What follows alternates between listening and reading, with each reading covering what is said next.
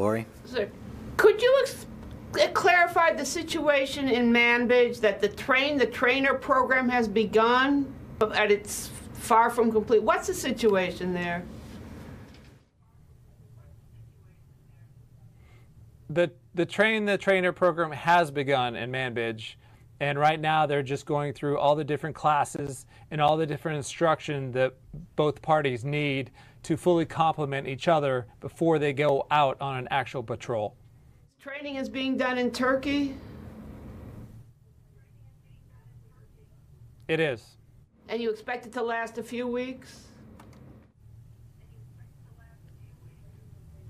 Yes, there's no timetable, but that's the projected time.